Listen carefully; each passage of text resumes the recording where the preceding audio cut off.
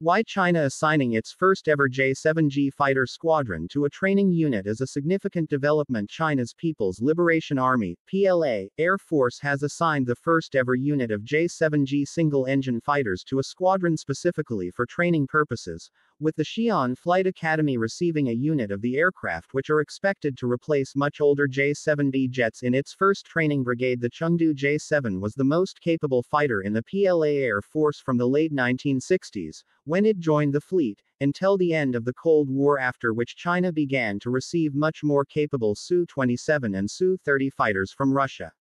The design was based in the Soviet MiG-21, which had served in the Soviet Air Force from 1959, and while initial J-7 models were much less capable than their Soviet analogs sustained Chinese investment in the design led it to become a formidable combat platform. Production of the J-7 continued until 2013, despite the design having been superseded by the indigenous J-10A and J-11B platforms which joined the Air Force from the early 2010s, with the J-7 prized for its low operational costs and ease of maintenance.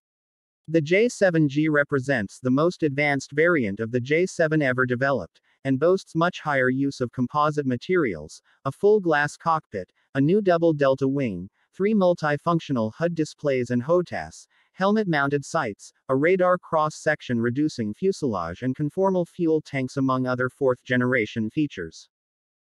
While the J-10 is today in production for the PLA Air Force as a lightweight single-engine fighter, the J-7G can be categorized as a very light fighter, a kind of aircraft the PLA appears set to phase out entirely from frontline combat roles. Significant numbers of J-7 units have been retired in recent years, transitioning either to J-10 jets or even directly to much higher-end and heavier fighters such as the J-16 which is around three times as large. The retirement of a J-7G unit from frontline service is significant as it shows that even the most capable variants of the J-7 are now being phased out of frontline service in the PLA Air Force and replaced by newer and much longer 4 plus and 4 generation aircraft.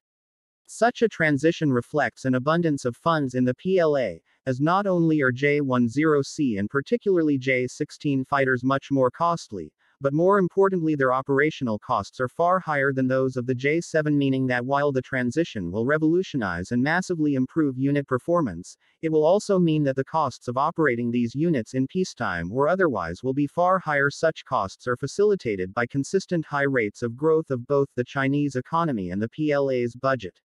Allocation of the J-7G to a training unit will provide a much more effectively simulation of a modern fighter's combat capabilities than the obsolete J-7B ever could, due to its sophisticated fourth-generation avionics, and the fighters may well be required to fly combat missions as reserves in the event of a major war. The most likely candidate to replace J-7G units in frontline service is the J-10C lightweight, 4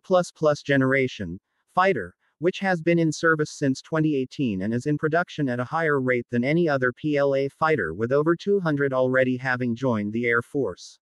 Following the J-7, the Russian-supplied Su-27 SK heavyweight fighters delivered from 1992 are expected to be the next combat aircraft slated for retirement.